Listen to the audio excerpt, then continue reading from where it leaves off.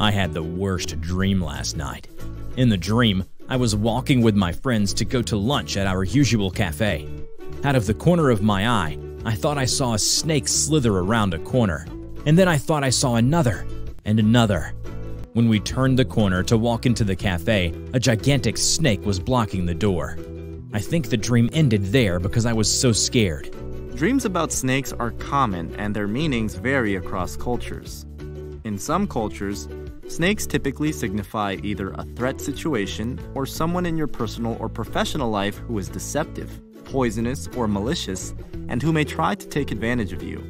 Yet in other cultures, snakes represent healing, renewal, well being, or personal growth. In any case, snake dreams offer valuable insights on how to improve your life by avoiding toxic people or situations that prevent you from achieving positive change.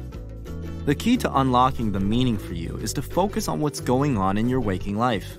The characters in the dream, the emotions you felt when you saw the snake, and whether the snake was aggressive toward you.